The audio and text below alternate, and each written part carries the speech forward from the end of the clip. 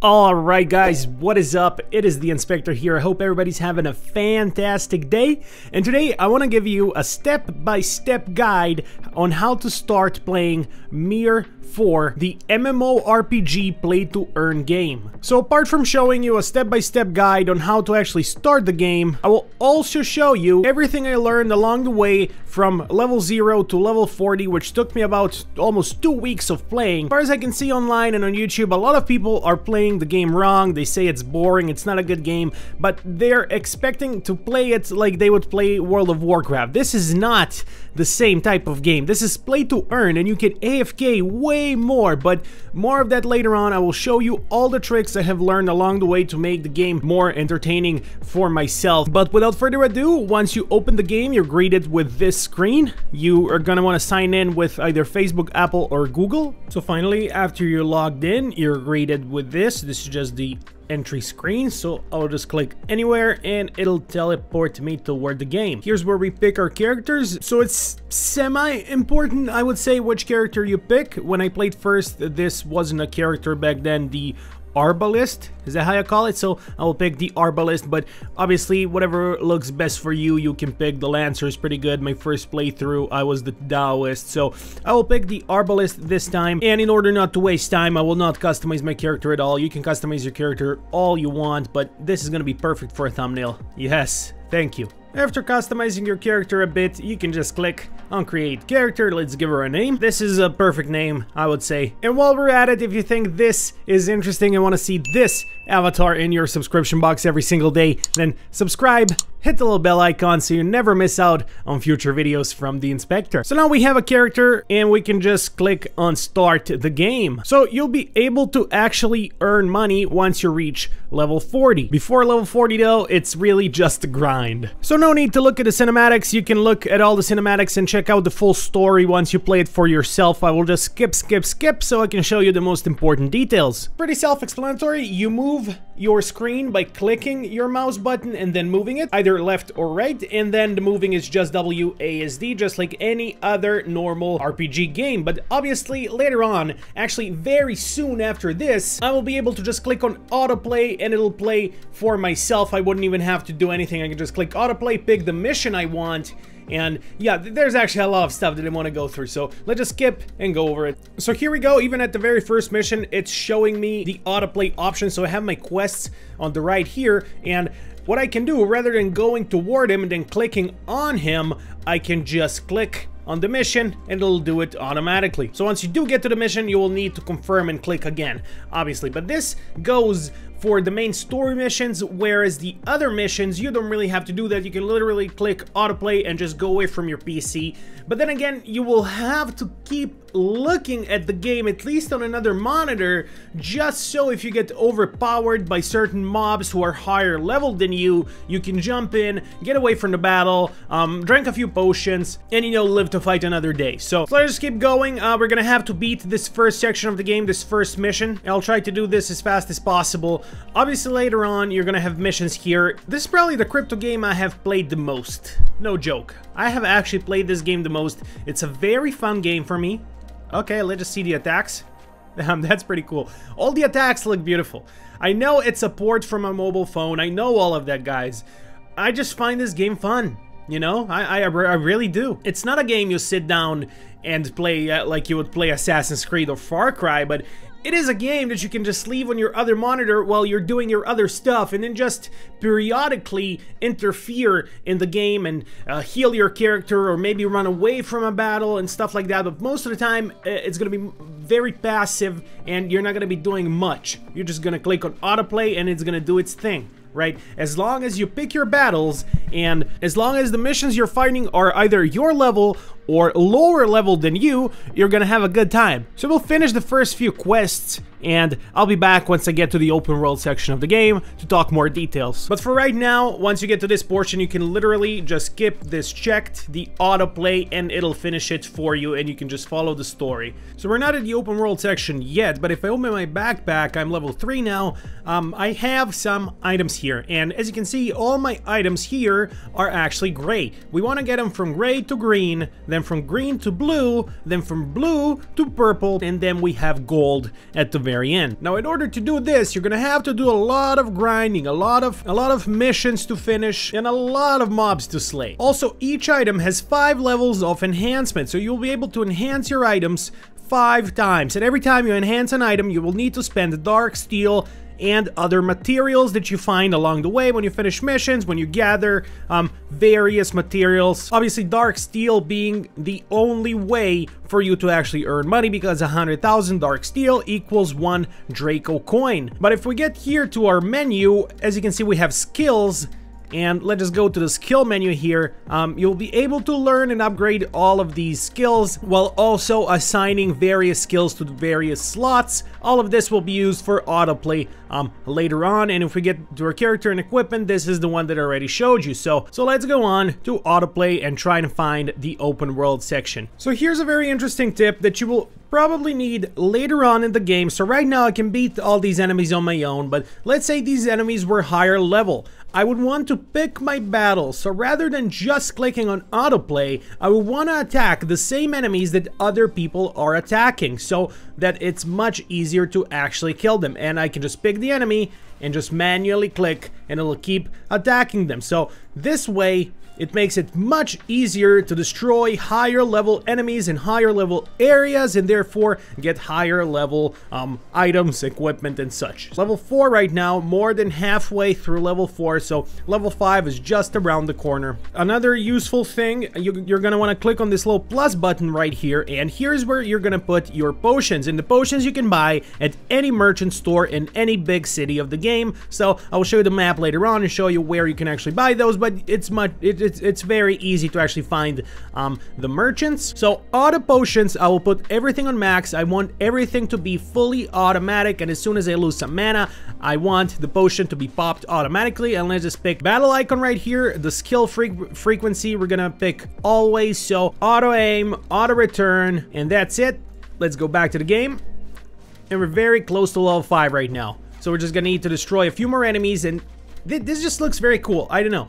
I just like the way all of this plays and all of this looks. The graphics are pretty cool, but not only the graphics, the whole design of the fight is just looking very nice to me. It looks very nice. It, it, it, looks much better than most of the crypto games, especially the RPG crypto games, and this being an MMO, um, this is very beautiful. So, we got another boss fight in our hands, and as you can see, when the boss fight starts, and it's part of the main quest, like it is right now, I don't have people around me to help me, so I'll need to deal with the boss myself, and when you deal with the boss yourself, it's very important to dodge. You need to click this button and dodge as many times as you can whenever the boss wants to hit a big attack. You're gonna wanna dodge and then continue auto attacking. So we did reach level 5 right now and with level 5 we have the tasks so I, you're going to want to claim as many rewards as possible, especially the rewards that give you Dark Steel. So if you open your map right here, click on this uh, on area map, you can see the castle right here in the middle, and it's mostly where all the merchants are. So as you can see, potion merchants, we, we got a couple potion merchants right here. Uh, there are more potion merchants all around the map, but these potion merchants are the one I use the most personally, and whenever I run out of potions, I just buy uh, one, 2,000 potions from them, the big um, health and mana potions, and I never run out of those, and you're gonna need as many as you can if you're gonna auto-complete quests, because that's the fastest way to get to level 40, and once you reach level 40, you can just mine for Dark Steel and basically earn uh, the Draco coin. But we are still in the tutorial section of the game, so I just unlocked crafting, and let's talk a little bit more about crafting. So we open our menu, we go to craft, and let's see what we can make. So some gold equipment. We're definitely not gonna be able to make gold equipment right now, but as you can see, 4 million dark steel in order to create this gold equipment, and trust me guys, it's worth it. It's much better than converting into Draco, because with this,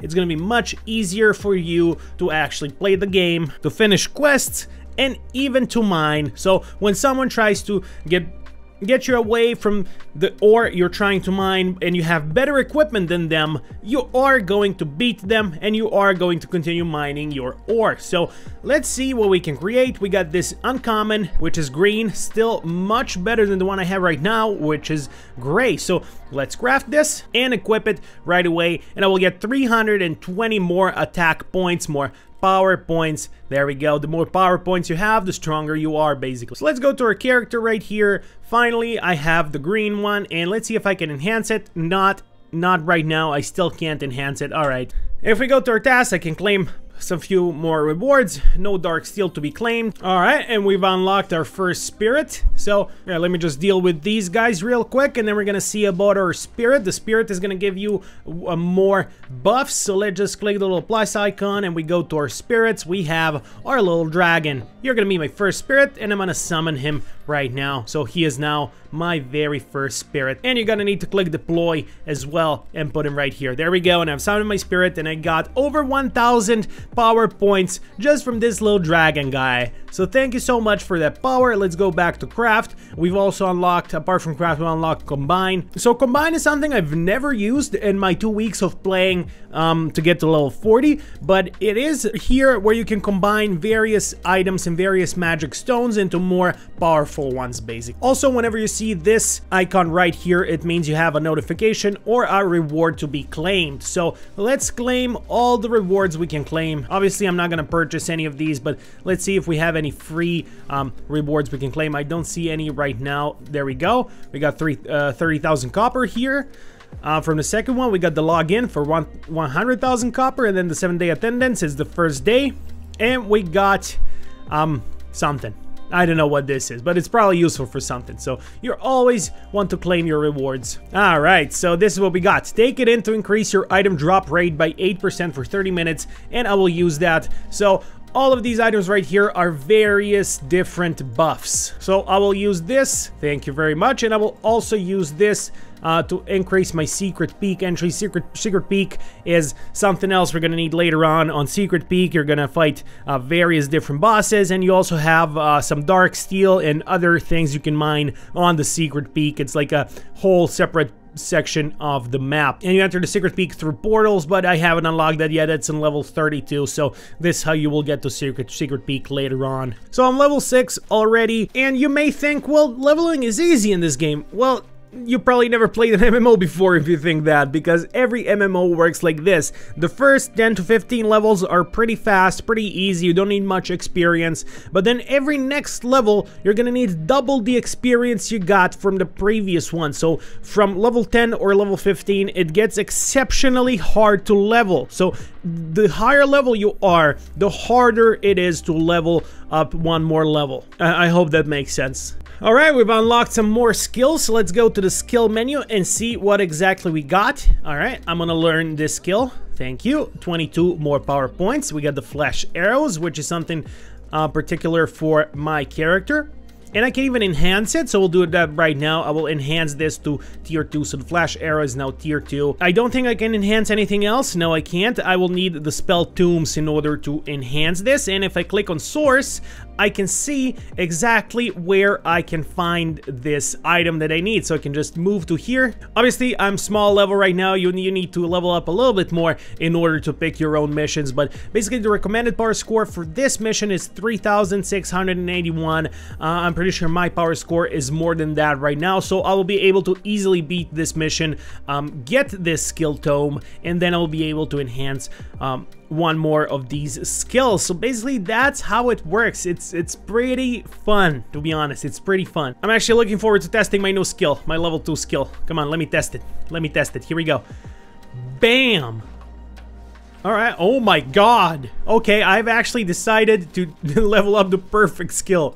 Basically, this is where you gather items, so I can literally click auto mine and it will auto gather for me and it will gather everything that is around here. There we go, everything is gathered. And let's continue with the main quest. I don't think missions are open yet. No, they're not. They're gonna open when? After completing the quest Shadow of Darkness, so I'm a high enough level, but I just need to complete, uh, I think, this particular quest that I'm on right now in order to unlock uh, the various different missions, side quests, so I don't have to only do the main quest. But we're still in the tutorial section of the game. And we've unlocked the next part, which is Constitution. Let's see what the Constitution can tell us here. So you're to be able to upgrade your power rankings by leveling up your Constitution. So you have the physical defense, spell defense, HP, physical attack, accuracy, and everything else. We're to just, just start with the one uh, that the tutorial is asking me to do. So let's just enhance this, and boom, we got a little bit more of physical defense. Let's see if we can upgrade anything else. We can. All right, as you can see, this is some herbs. So um, the more herbs you gather, the more you're going to be able to upgrade all of this. So let's upgrade our intelligence as well and our HP. Anything else? Nope, that's, but it looks of it, that's it. We don't have um, enough materials to upgrade anything else. So we're gonna need some herb root in order to upgrade um, more things. So let's just see, as for as far as gathering goes, um, we can gather this here in this valley or we can finish this mission. This mission is way too high of a power score for me to finish. So I would go for gathering and just move here. And there we go. It actually does work right now. Well, perfect. Let's go and gather this and, and uh, kind of explain to you guys how this actually works. So it's right here. If we open the map, this is where it's leading us to. So it's very nearby. And there we go. I think it's all the herbs that are right here. So let's try now. This is meditation. Meditation is for energy. let's try and gather some of these herbs. And all of these mobs are pretty passive. They're not going to do anything to you as long as you do don't do anything to them. So um, we have five minutes of gathering here. Let's just see what materials we're going to get. So we got the little mushrooms. That's also something we need. Yeah, just getting a bunch of different things. But let's see if we can already upgrade something. We're gonna go to our constitution and we can. So the mushrooms are very useful apparently. Uh, let's upgrade our accuracy once more. Cool. And basically that's how it works. So you need some mushrooms to upgrade something. You click on them, you click source. You click on gathering and you see where they are available. So we can just stand right here and just gather as many materials as possible. You can just AFK right now and just gather all of this and then upgrade yourself as much as you can. But something very, very important to also keep in mind. Once you open the little menu button right here and then you go to your character equipment, then you click on your equipment, you want to enchant and enhance. So you're gonna need to do both of these. Enchant and enhance as many times as you can to make your item as powerful as possible. Every enchant, every enhance is gonna get your power score up. So I'm, I'm already at 6,000 power score on level 6. No, I'm level 7 actually, so my power score could be a lot higher right now, but I'm still at the phase of, of finishing the little tutorial and collecting all the little things in sections. But let's just enhance the other things we can enhance. So guys, from here, you're gonna wanna get to level 40. Once you get to level 40, you just want to mine, and the game itself will show you where to go and mine. Or you can also check out my last Mir 4 video where I showed you hotspots for mining. But keep in mind, it's very important to have very high power score, very high gear, so whenever someone tries to take you away from your mining spot, you can fight back and keep your mining spot. That's why it's important to be as high level as you can. So Hopefully this was useful to you. Hopefully you're enjoying Mir 4 as much as I have been enjoying playing it to level 40. I'm not playing it now anymore because I did lose my level 40 account. That's that was an unfortunate turn of events and it kind of led me to not playing the game anymore. So I'm kind of searching for new uh, play to earn games right now. I'm looking at Hodl God. I'm looking at a few other games. I was looking at Blankos Block Party. I've been playing that for a while, but it's just not as exciting as Mir 4 to me. Mir 4 was really exciting, but it took me such a long time to get to level 40 that now that I lost that account, I don't really have any motivation to uh, level up my character again. It's just gonna take ages. But just for the sake of proving everybody wrong that told me you can't earn $100 with Mir 4, I, I will probably level up this account to that level just to prove them wrong and to show them that yes, you can if you do your math right, if you play it right, if you play your cards right, and you can really AFK 24-7, you're gonna need to be present um, as much as you can, but yeah, I'll try to talk more about that if and when I ever end up making that video on proving the haters wrong. But basically, that's it. Thank you guys for watching, and I'll see you tomorrow for my new video. Peace!